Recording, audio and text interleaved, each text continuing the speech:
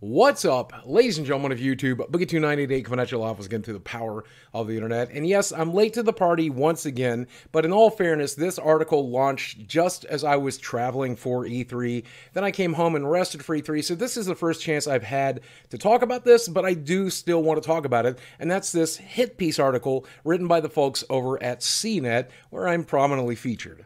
So if you haven't seen a video about this yet, let me be the first to tell you. I'll summarize it here a little bit. Here's the article called Why Are Gamers Angry? And this is on the CNET website. I believe it's written by Ian Sherr, who actually uh, interviewed me about this article. And I gave him some information and some advice and some things that he did use most of my advice basically went completely ignored, which was kind of frustrating.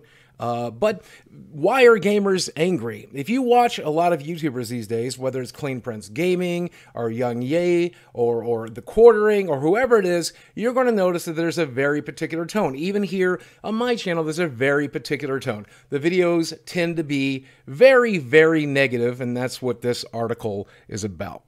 Now, Ian actually reached out to a lot of people that he talked about in this article, including myself. Um, I decided to talk to him about it because, again, number one, I didn't expect this to be a hit piece. I didn't think he would go after advertisers the way that he did. We'll talk about that as we go through the article. Um, I wanted to talk to him because I wanted to try to steer steer him in the right direction to get him to understand why my videos have become so negative, why most of YouTube's videos have become so negative.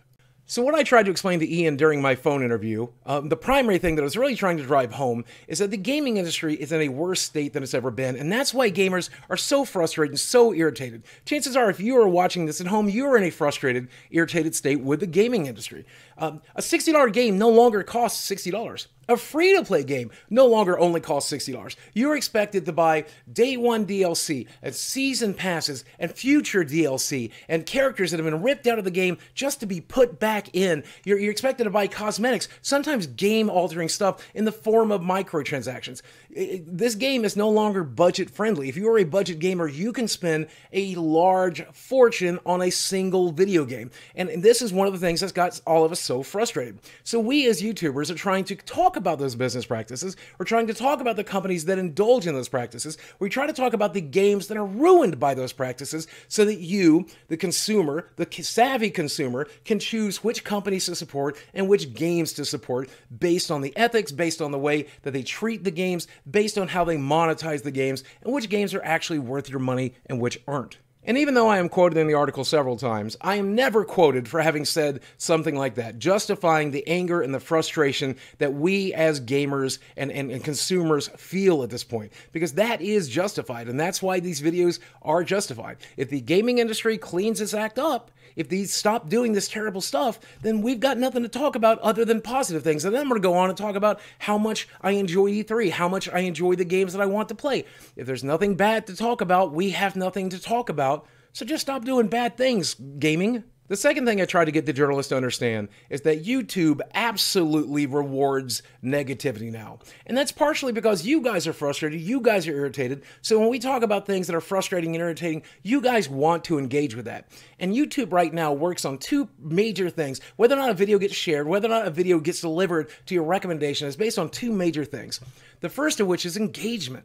So if the title of a video is is anger inducing or is, is negative, you're more likely to click on it. If the thumbnail is more negative, you are more likely to click on it. And negative content performs better than uh, positive content because people tend to watch negative content all the way to the end. When they see positive content, they're not emotionally engaged, so they tend not to watch it. YouTube knows this. I've talked to YouTube about it. YouTube is effectively making the world a worse place by encouraging negative content on its platform, but YouTube will tell you that's not what we're doing. We're just trying to create, uh, uh, encourage content that people like. So if the watch time is high, the engagement is high, we don't really care whether it's positive or negative. That's up to you guys. And, and ultimately, that's not up to me. That's up to the audience. But yes, the title of this video was probably negative because I wanted you to click on it and I want you to watch it to the end. Now, we're going to deep dive all of this stuff and we're going to deep dive the article itself, and I'll talk to you about how I feel about it. But before we do that, I want to make sure that the article itself can exist. I don't have a problem with that. He can say and do whatever he wants to do. That's fine by me. What is not fine is the fact that he contacted YouTubers' advertisers to try to get those advertisers to pull away from those channels. That is dirty. That is unfair. That is foul play. Now, presumably, Ian feels that negativity has no place on the internet and that YouTube gamers should not be getting paid to criticize uh, gaming culture and the gaming industry, apparently.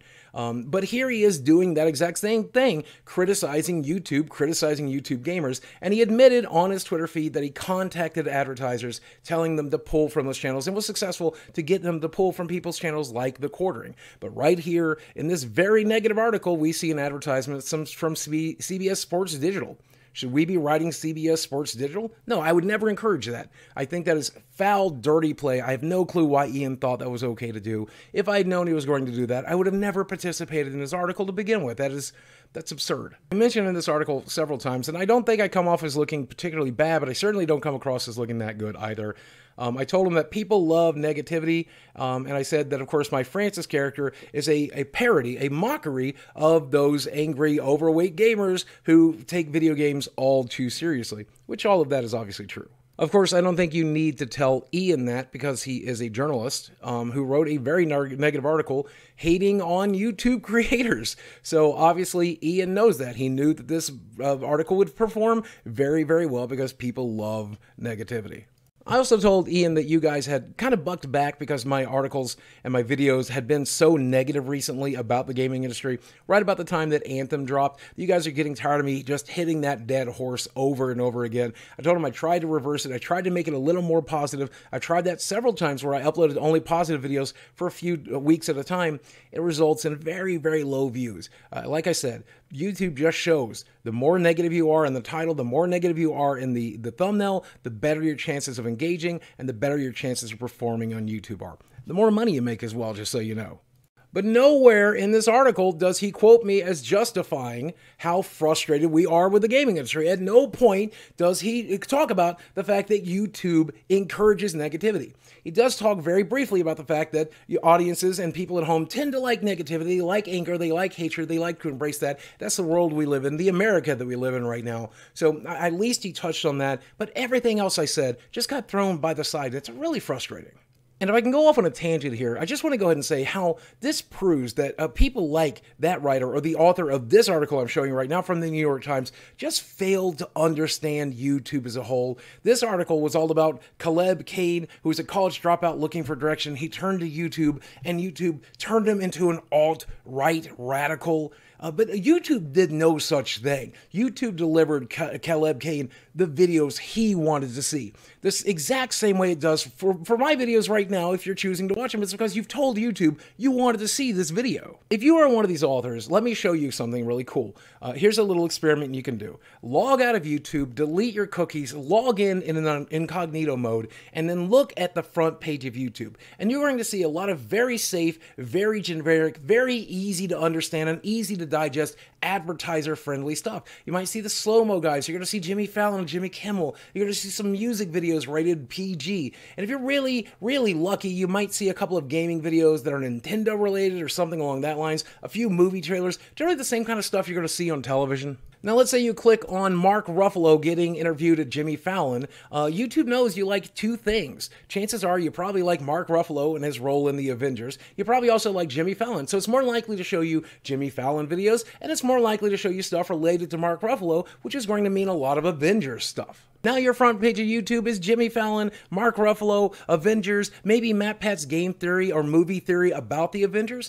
But if you clicked on something else, say like an article about Donald Trump, then maybe they get the idea that you like conservative politics. So now it's going to start showing you more stuff like news and Donald Trump stuff and uh, the political race and the things along that lines. You tailor the YouTube experience based on what you click on and what you watch. The reason you are seeing this video right now is because you watch videos like this. Maybe you watched some of my videos in the past. Maybe you watch videos related to the topics in this video, uh, CNET, angry gamers, gaming in general, and, and you're seeing this video because of it. And you're going to see more videos like this because you've made it all the way almost to the end of this video. That's what YouTube does. It is not a publisher. It is an aggregator. It allows you to find what you want and suggest things based on what you've previously engaged with and watched that's what YouTube does. And I really wish Ian had a better understanding of that when he wrote his article. Now, the good news is, I do think after talking to Ian the first time, he probably is smart enough to understand this. I would imagine he did understand this going into the article. I think he was being purposely obtuse here so that he could write the article he wanted, frame it the way he wanted to. I think the media does that. I think they are purposely obtuse. I think they purposely mislead their viewers, and I think they pretend so that they can get the same rage clicks they are accusing us YouTubers of trying to get. But I do like to look for the good in people, and I do want to believe that these guys convince themselves they are doing it for the greater good, not just to profit their organization or to profit themselves, but at the end of the day, I think they're trying to evoke policy change or try to encourage a change in the cultures, things along that lines, because they believe that is for the greater good. I know when I make YouTube videos about this stuff, I'm trying to ga- change the gaming industry for the better. And I know for a fact I have because I've heard it from Microsoft, I've heard it from EA, I heard it from Todd Howard at E3 just this year. Your videos have an impact on our lives and the way our, we do our business, and generally that impact is for the better. So I hope you guys can understand why my videos have been so negative over the last year because I'm trying to impact the gaming industry as a whole. At the very least, I'm hoping to ward you off from bad companies and bad games so that you can spend your money on good games and good companies. But at the same time, I'm also hoping to get these companies to set up and pay attention and hopefully do something better. I know Ian probably thinks he's doing the same thing. The only thing he did here was cost a few YouTubers their sponsorships, and that ain't cool.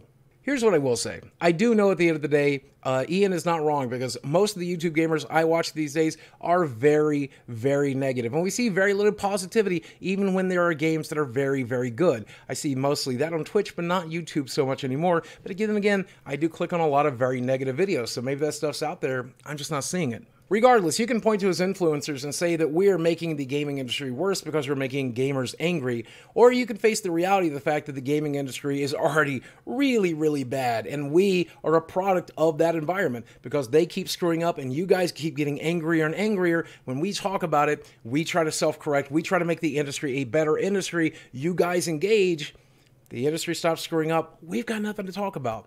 That's the world I want to live in. So, industry, you can end this. You can end the negativity on YouTube. Just stop being a, a nightmare. Just get it right.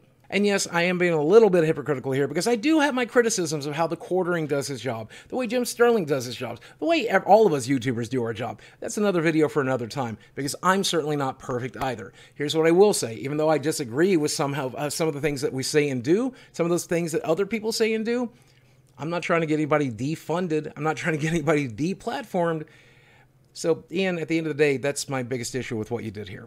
Now, this is all just one man's opinion. I could be wrong. And I think I was wrong to even accept that interview. I think in the future, I've learned my lesson. I'm just not going to participate in this kind of stuff because I don't like being thrown to the dogs like that. Guys, let me know if you think I'm right or wrong down in the comment section below. While you're down there, drop a like on this video. If you're not subscribed to the channel, I would love it if you were. And if you're already subscribed, make sure you have that notification bell checked. No, all notifications turned on can really help the channel these days. And I hope that you guys do that. Guys, as always, thank you for watching. I love you very much and I'll speak with you again soon.